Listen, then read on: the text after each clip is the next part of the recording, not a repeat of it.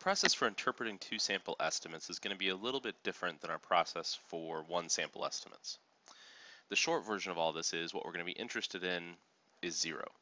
If zero is in our interval, less than our interval, or greater than our interval. So the interval we construct for a two sample estimate for proportions is estimating the difference of P1 minus P2. So the population proportion from the first sample minus the population proportion from the second sample. When we consider P1 minus P2, we have three different possibilities to consider. So assuming we knew what these actual values are, then P1 minus P2 might be exactly equal to zero. And that's going to be the case if P1 and P2 are exactly the same. We could also have a scenario where P1 minus P2 is something greater than zero, so we get a positive result, that would mean that P1 has to be larger than P2. Or when we subtract those two numbers, we might get something less than zero. We might get a negative number. That would happen if P1 is smaller than P2. So this is going to become the basis for how we interpret these different confidence intervals, these three different results. With each two sample interval,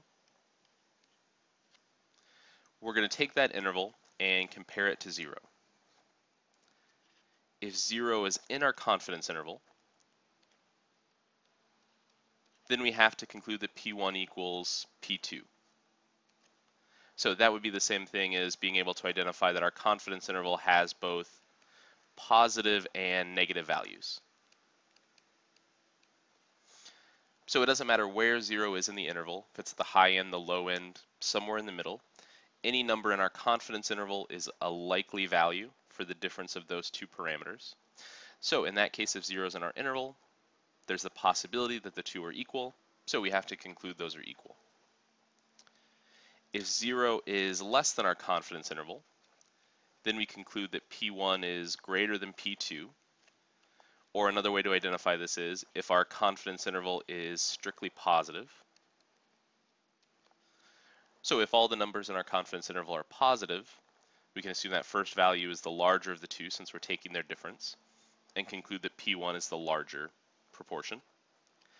And if 0 is less than our confidence interval, then we conclude that P1 is less than P2 or another way to identify that, again, would be that if our confidence interval is strictly negative.